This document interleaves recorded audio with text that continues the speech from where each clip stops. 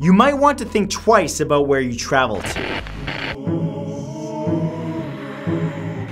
When looking for an adventure, people often first seek out famous landmarks. They want excitement, perhaps an opportunity to be a part of history. But some places hold a dark secret, one that no one ever bargains for. These are 10 famous landmarks that are haunted. Number 1 is the Great Pyramid of Giza. On November 26, 1922, after seven years of searching, archaeologist Howard Carter finally discovered the tomb of the boy pharaoh Tutankhamun and all the treasures that came with it. Many people feared for the man's life as it was said that there was a famous curse on the tomb that claimed death shall come on swift wings to him that toucheth the tomb of the pharaoh. Though it's been said that Carter avoided the ancient curse and died peacefully in 1939, many have claimed to have seen him wandering the pyramid of Giza, as if his soul is not being allowed to rest. Additionally, floating orbs have been seen, whispering and footsteps have been heard, and even two young children were seen running about the crypts only to vanish. Number two is Edinburgh Castle. Scotland is no stranger to ghost stories, having a number of castles with almost every one of them said to be haunted. But by far the most famous of them overlooks what is said to be the most haunted city in all of Europe, Edinburgh. Throughout history, Edinburgh Castle has been the site of considerable death and bloodshed, creating the perfect site for paranormal activity. Hundreds upon hundreds of tourists and staff at the castle have reported feeling being pulled at, shoved, pinched, or otherwise touched by something that they couldn't see. The sounds of whispering, screaming, laughing, and the bang of a drum have all been heard, and many have seen the legendary headless drummer boy himself. Other visible apparitions include a decrepit old man, an angry woman, battered prisoners, and a ghostly dog that wanders the cemetery on the grounds. One chilling tale tells of a piper who wandered the tunnels under the castle hundreds of years ago. He played his bagpipes as he marched, so people could track his progress, but suddenly he stopped playing. He was never found, but it was said on a dark night you can still hear him playing. Number 3 is Corvin Castle. Located in Romania, Corvin Castle is known to the locals as Hunyad Castle, but you may better know it as Dracula's Castle. Built between 1307 and 1315 by Charles I, Corvin is widely considered to be one of the most haunted castles in the world, and with a dark history like this place has, it's no wonder that it has the reputation that it does. Corvin Castle's interior fountain was said to have been constructed by Turkish prisoners who were promised freedom upon completion but never got it. It's said that their angry spirits still wander the halls. A dungeon under the castle's Hall of Knights was even home to Vlad the Impaler for seven years, from 1462 until 1469, as King Corvin had him in prison there. It's said that this is where the blood-crazed ruler truly lost his mind, and became the legendary ruthless inspiration for Bram Stoker's Dracula. Visitors have claimed to have heard screaming of slaves, seeing silhouettes of figures in pictures taken there, and some have even claimed that angry spirits have left marks on them, torturing them as they spent the night there. Number 4 is Bhangarh Fort.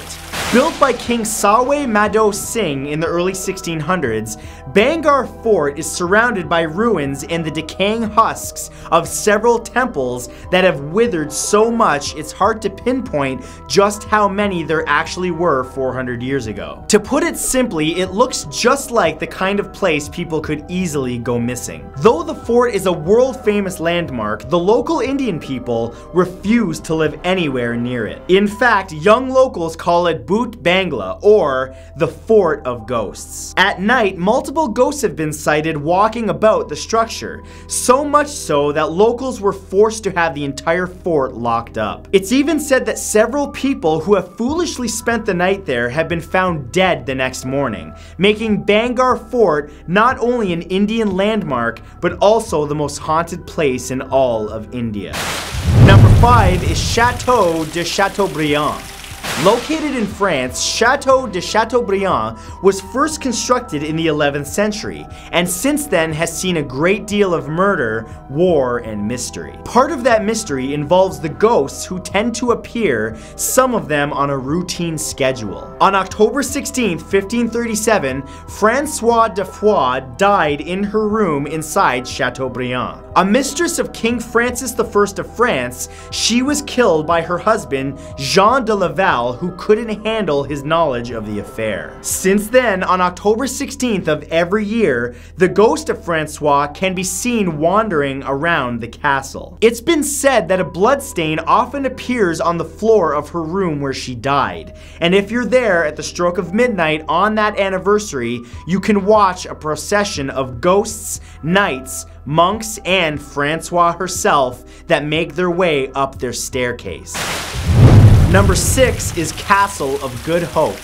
Castle of Good Hope was built in South Africa in 1674 and stands today as the oldest and largest of the country's colonial buildings. A big draw for tourists, the fortress houses quite a few specters, including a tall, glowing man who's been seen standing atop the fort's high walls, staring down at the town below. If you're truly lucky, you might even see him leap off the wall to his apparent death. In the 1700s, a soldier hanged himself in the bell tower, and the room was sealed off and to this day, people claim to hear one of the bells ringing from time to time. It's also said that you can hear the hanging man's footsteps as he makes his way to the spot where he took his own life. Other ghosts include a crying woman in gray, a beautiful young lady, and a black ghostly hound that pounces on people, even knocking them to the ground before disappearing. Number 7 is the Forbidden City. There's a lot of reasons this city has the name that it does. Located in Beijing, China, the Forbidden City, or the Purple City as it's known there, was the imperial palace for the Ming Dynasty. Built between 1406 and 1420, the palace was only accessible by the upper class, with anyone deemed unworthy not even allowed to hear the stories that it exists. The Forbidden City had over 600 years of assassinations, plotting, and cold-blooded murder in its history. That said, there's no wonder why the building is known as one of the most haunted places in not only China, but the entire world. The most famous ghost there is the Weeping Woman, who has been seen in white garments crying in various parts of the complex. Guards and passersby have reported hearing someone play a flute, even though there's no discernible source. Other ghosts, including royalty, guards, and even some concubines who were murdered there have also been seen. Number 8 is Mount Everest. Mount Everest is known for its incredibly difficult challenge of reaching the top, but what's lesser known is the sheer amount of death that's happened there. Which makes sense. Those who climb this mountain have to face a climb that surpasses 29,000 feet above sea level, so death is very much a risk. A number of people who've attempted to climb Everest have reported seeing ghosts of those who died on the mountain at various points in their journey from base camp to peak. Over 220 human beings have lost their lives trying to reach the top, with some of them them radioing down, claiming to see people in old climbing gear standing in front of them before the radio goes permanently silent. Some of the ghosts seem to encourage climbers to make it, while others, seemingly jealous of them, go about trying to scare them right off the rock. Number 9 is the Tower of London. Easily one of the most haunted places in the United Kingdom, the Tower of London has multiple spirits in it, almost all of them malevolent. Built by William the Conqueror on the north bank of the River Thames in 1078, the tower is officially known as Her Majesty's Royal Palace and Fortress, and is home to the ghosts of Anne Boleyn, Lady Jane Grey, and Thomas A. Becket, as well as many others. Beheaded on May 19, 1536, Queen Anne Boleyn is said to be the most widely seen and persistent of the building's paranormal inhabitants. Witnesses claim she walks about the castle, a headless apparition, while others have seen her wandering around the site of her execution. The ghosts of two separate children, former princes, have also been seen, walking as they hold hands with looks of sheer horror on their faces, silently whispering, come play with us. And number 10 is the White House.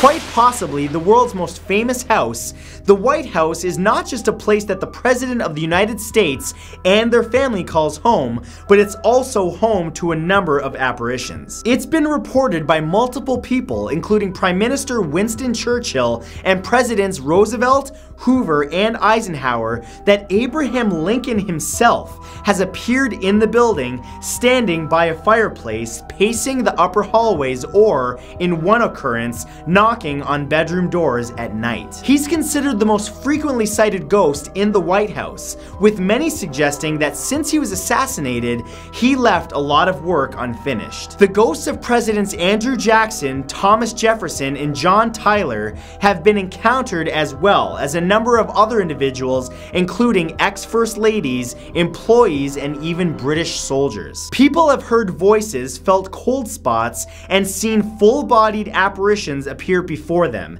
making the White House a paranormal anomaly. So, those were 10 famous landmarks that are haunted. But I want to know from you, what do you think of these paranormal encounters? Are they simply people's imaginations playing tricks on them in the dark, or something more diabolical? Leave your comments below because I'll be reading through them and I'm going to pin the best one to the top. But as always, thank you guys so much for coming by today.